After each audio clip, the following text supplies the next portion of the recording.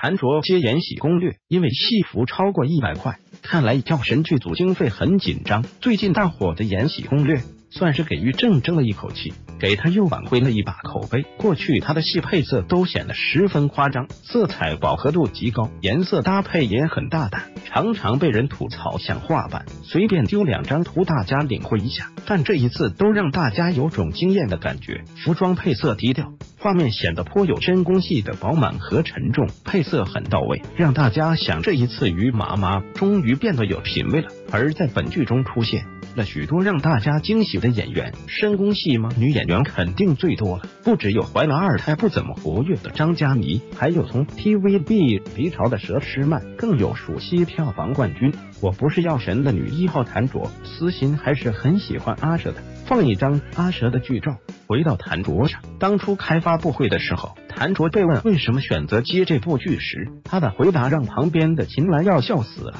我以前那些服装均价都不超一百，这次这个超过我就来了。这种古装剧，戏服很难不超过一百啊！哈哈哈哈！谭卓真的是好随意的，但是很多网友就想，以前从来没超过一百，那是不是表示药神也是？小编查了一下，还真是药神早呢，《延禧攻略》三个月开机的。所以谭卓药神的服装也没超一百，经费紧张了，心疼。不过有人说，虽说戏服贵，可是他演的高贵妃服装好少了。老实说，确实不少了。小编随便找的图都有好多套不一样的颜色、款式，都是极具特色的。包括剧中高贵妃是会唱戏的戏服，小编也找到了两套，一套女装妖媚，一套男装英气。剧组在戏服上还是没有亏待她的。